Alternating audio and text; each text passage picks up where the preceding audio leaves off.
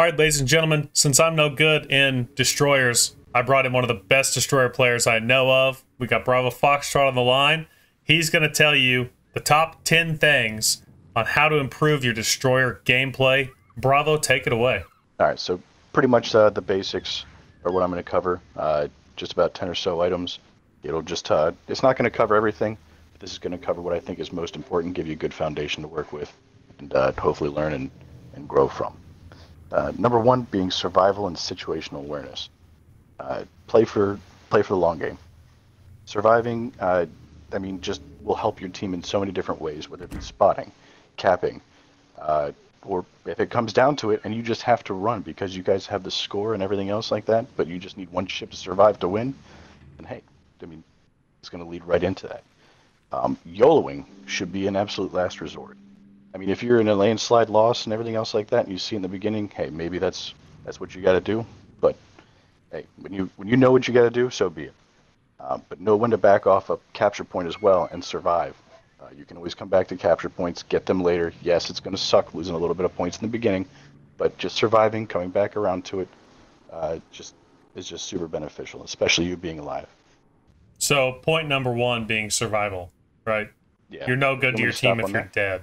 Absolutely. All right, and then number two, camouflage. That's usually one of the big indicators when you're playing with uh, a DD on your team that's that's usually pretty brand new, or maybe just consumable poor. Uh, but you mm-hmm. absolutely need need to put camouflage on there, preferably maxed out so you get the dispersion and the uh, concealment benefits. Um, yeah, if you're seeing you're vulnerable, I think that goes without saying. Concealment is pretty much your biggest friend. Uh, to the higher tiers, what I would recommend concealment if you're a gunboat, you're probably going to want to be about a 5.5, plus or minus whatever. Uh, if you're a torpedo boat, you usually you want to be five kilometers or just below that. That's that's a good number to shoot for. I know it's not going to be realistic with some of you guys not having Swirsky or Bey built up, but that's that's the ga- that's the goal. Uh, three, the perk Unstoppable, uh, or some other or- form of engine protection because I know there are some commanders that have the uh, that first tier perk that give you engine protection and splash splash damage protection. Um, you need mm-hmm. that, and that's that's one of those things I learned hard over and over again until I finally just stuck with it. There are very few ships that I use that don't have unstoppable on it, but there's nothing worse than getting double tapped in the engine. I mean, you know what I mean? You, you repair that engine, you get hit again, your engine's broke, and then guess what? Torpedoes or planes or whatever else are coming right at you, and there's not a damn thing you can do. The next one, twist and track. This one is. I, have had people go both ways about this. Me personally, I prefer it on, I would say, 95% of my ships. Uh, it's it's almost necessary whether you're a torpedo boat or a gunboat. Uh, just the information it gives you can be the difference between life or death. Refer to step one. Uh, I mean, if you're getting approached by something behind an island and it's not getting spotted by your team, that may be your way to find out about it uh, hunting mm-hmm. down their last DD when you have to get that last kill to win. That's important. Uh, what else is there? Maybe getting pincered by two enemy DDs. You know what I mean? You're fighting one guy and he's he's located, he's in front of you, you're getting close, and then all of a sudden it switches to directly behind you. You're like, oh shit, I'm in a really bad place. That's another good way. Uh, so there's just so many benefits to it. Yes, you can be successful without it, like if you have a carrier or somebody else with twist and track, but I always recommend having it. Um, what else is there? Oh, with twist and track also, with experience, you'll also be able to tell if somebody's getting closer or further away. When you start to see the more significant swings and movement from the twist and track, that usually means you're getting closer, and they're usually moving left or right. Um, spotting and capping. If you're not doing one or both of these, you're uh, you're probably doing it wrong, unless you're in one of those scenarios where I just covered, like you're getting pincered or chased down by radar, aircraft, or whatever else like that. So that should be the only pretty much time that you're not spotting or capping or doing something to, to benefit your team instead of just being off on your own and, and trying to torpedo a CV or, or something silly. Um, all right, to go into the, the ship types a little bit more, uh, torpedo boats. Uh, there's a lot of people, and I hate to see this, that think that just because they have 11 kilometer torpedoes, they have to fire all their torpedoes at 11 kilometers. No, that's not the case, man. Don't be afraid to get closer the shorter the shorter range you are, the less travel time, the less the less chance they have to to avoid it, and less spread there's going to be on those torpedoes. You know what I mean? Um, what else do I see torpedo boats doing? Uh, putting all of your eggs in one basket. I think you know what I'm talking about. Where they see somebody driving this way, they fire all three or whatever sets of torpedoes in the exact same spot. And then that dude just turns a little bit or slows down or speeds up a little bit, and you completely miss. Yeah. Uh, yes, it pays off sometimes with the dev strikes or whatever else have you. Maybe if the nose on, there's a good reason to fire them all in one spot. But yeah, for the most part, you, you, you want to spread them out or even even delay, like fire is set here and fire is set there, and keep them guessing on where the hell they're going to be coming from and when they're Mhm. going to be coming. Um, also, when you're a torpedo boat, communicate to your division. Like when I'm playing with Peek or Aaron or, or some of my other friends. I mean, you, you land a torpedo, you get a flood, pay attention. If you stay flooding, cool. Hey, let them know. Hey, he's flooding. He's still flooding. When they damage con, call that shit out. Uh, let them know because they the rest of the team can take huge advantage of damage cons, and that's that's a very basic uh, lesson for success right there. Is is taking advantage of those damage cons. Um, Agreed. And I, yeah, and I would say the last thing, just because you're a torpedo boat doesn't mean you can't use your guns, whether it be just to get a reset or maybe light a fire, but be selective on when you do it because you surviving is once again one of the most important things. Uh, next one, knife fighting, gunboats, things like that. This is one of the ones that I've learned hard, and and I'm still continuing to learn. But uh, be selective on when you get into a gunfight. Uh, know where you are. Uh, know like friendlies and enemies, who's around you. Like goes back to being situationally aware. You don't want to be within eight kilometers of their battleships uh, fighting a DD because their battleships are not going to have a hard time hitting you. You know what I mean? Bring them to you if you can. Unless you know you're just going to outright finish the guy in one or two shots and be able to smoke and, and deuce out, you, you probably don't you don't want that you don't want that fight right then and there. Other things to think about when you're uh, when you're fighting a DD. I like to I don't go perfectly broadside. That's usually just asking to get hit. Uh, be aware of your surroundings. Know where the enemies are. Usually, you want to be skinny to like their battleship. So, say you're fighting a DD and he has one battleship or one cruiser in support. I almost want to keep myself skinny to that DD or sorry that that battleship or cruiser uh, while I'm continuing to fight the other guy. Why? Makes me a harder target for the big guys to land the big shells on me.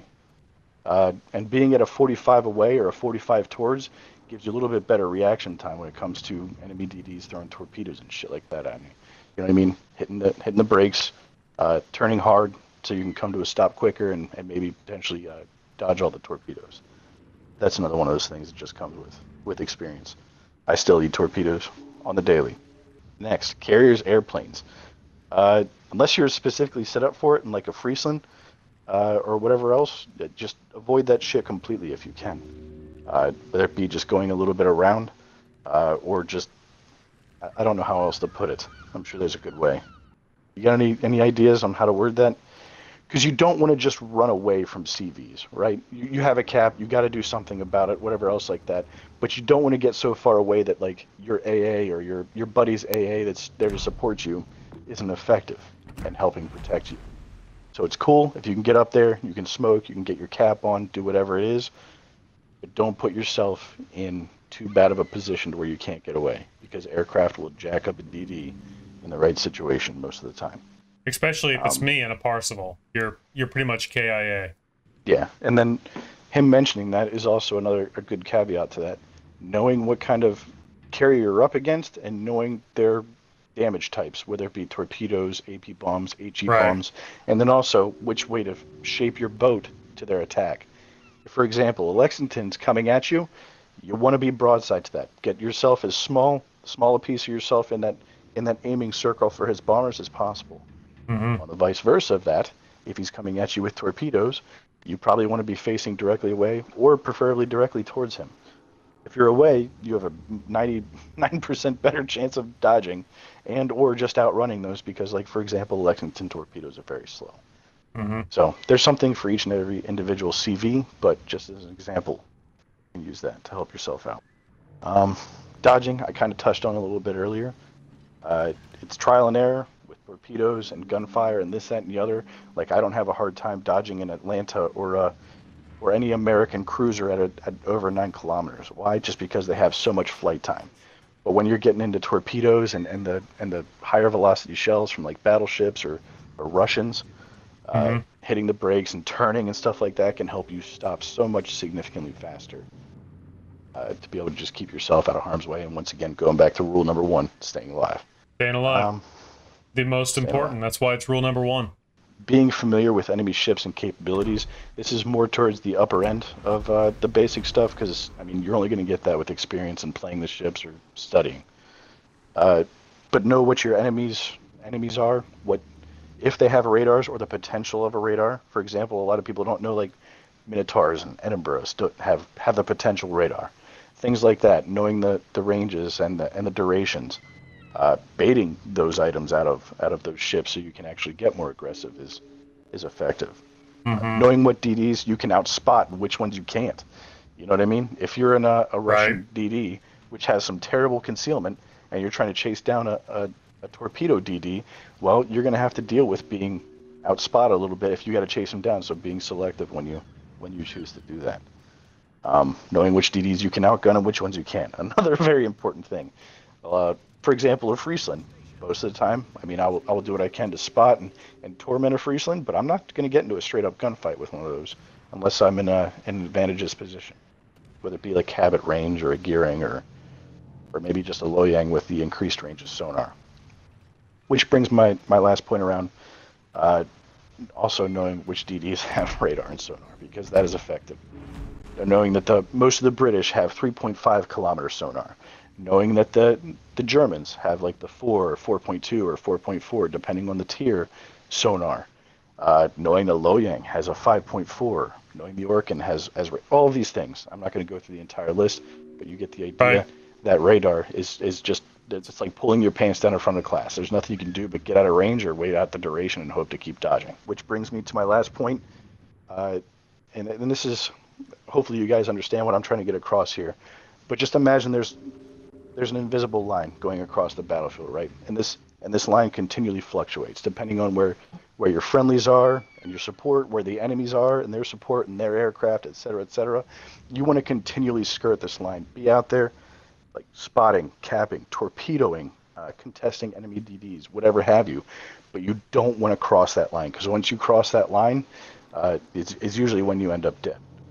So, just like I said, be a, be a part of the game. Don't just be throwing torpedoes at 11 kilometers or whatever else have you. Be in there, be doing something, but don't don't outreach your uh, your capabilities or your team. And hopefully, if you follow some of those basic steps, that'll get you to at least be basically successful, and you can continue to low, learn, grow, and, and be a better better DD player than most of us out there. I think that was I well think that's said. pretty much it. Thank Yeah, you. all your all your points are um, are valid. All your points are accurate. I'm sure probably a lot of people already do a couple of them that maybe don't put them at the center of their gameplay, but without a doubt, you heard it from the mouth of one of the best DD players in the game. If you focus and remember those 10 things, you will undoubtedly be a better destroyer player. Solo, definitely better in division. there is one thing I would say in division play, and this is one thing that a lot of people don't do, and I wish they did, and you guys do do it.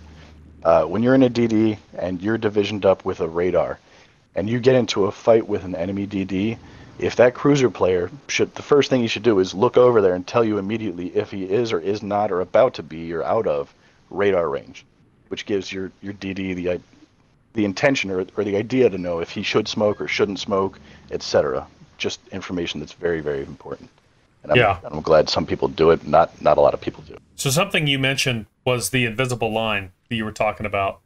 And I don't ever think about it, but I do it. I never want to have an engagement in a destroyer, gun on gun, uh, too far away from my friendlies because I want my friendlies to help me, to preserve my HP, to kill the enemy faster, you know. And I feel like a lot of people that play destroyers have no idea that that is a thing, but that's that's pretty important when it comes down to it. You know, like keeping keeping that engagement closer to your friendlies makes them more likely to shoot and hit, which takes more HP off the enemy, which reserves more of your HP, etc. So one thing we talked about before this recording, Bravo, was taking a torpedo. Why don't you ah. tell us taking a torpedo, bow, middle, stern, what's the difference? Why is it better to take it in one particular part of your ship versus another? I'm curious. So there's three pieces to your to your ship that matter, right? There's the fore, the aft, and then the, the center of your ship. The center of your ship is what you want to protect most of all, right? That's where almost all of your HP is at. Uh, so if you have to take a torpedo, whether it be from a battleship, uh, sorry, not a battleship, a DD, uh, an aircraft uh, dropping dropping those torps on you, whatever else it may be, take it, and, and this, there's no way to say this, take it in the rear, if, if at all possible. Why? Because most people end up shooting it at a DD. They usually end up hitting it in the rear, vice the front, right? And then Mhm. you, you can just take multiple torpedoes directly in that aft section and still survive if you haven't taken damage in the other, the other sections. Number two would be the fore, because, well, you can take a couple torpedoes on that thing uh, and continue. Like I said, you'll be damage saturated, and they'll keep hitting it, and they won't be able to kill you because it's already damage saturated. Protect your your gut. You know what I mean? Take Yeah. Take a punch to the face, take a punch to the butt, but do not take it to the, to the gut unless you absolutely have to. I've seen you take torps to the bow and and you're 50% HP or more or whatever, and then I've seen you eat torpedoes that you know you didn't expect, and you're one shot. Yep. Anticipated torpedoes are the most dangerous. Okay, you've got really 10 tips there from the best DD player in the game. Really 11 with where to take a torpedo. Thank you, Bravo, for stopping in, helping all these people out, become better destroyer players. I'm sure they all appreciate it. No, thanks, man. Appreciate the invite and the opportunity. Well, until next month, when we have you back to talk about the same things again. Good deal. All right, thanks, Bravo. Thank you for making it all the way to the end of the video. This is another how-to destroyer video. This was a special one because we had Bravo Foxtrot, one of the best DD players in the entire game, giving you, you know, his 10 basic or kind of 11 basic tips on how to be a better destroyer player. If you like this video and you found it helpful, let me know in the comments section down below. If you're going to go out and play and you use some of these tips and they make you a better player for destroyers, come back to the video, let us know down below. I'll heart that comment. Until the next how to video, I want everyone to have a good one, and I'll see you next time, boys. Peace!